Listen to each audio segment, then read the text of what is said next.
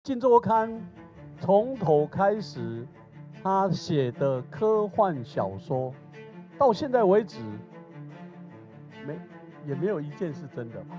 啊，那好像，哈，好像他每一次都是在指挥北检在办案。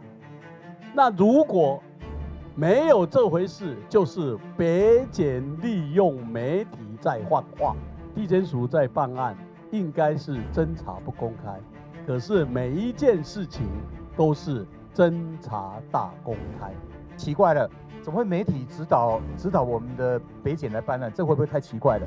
而且一个举止来就出现一百个以上的故事了。